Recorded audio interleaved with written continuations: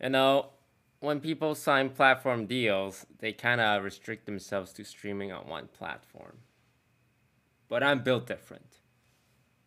Not only can I stream on other platforms, I can also still get sponsored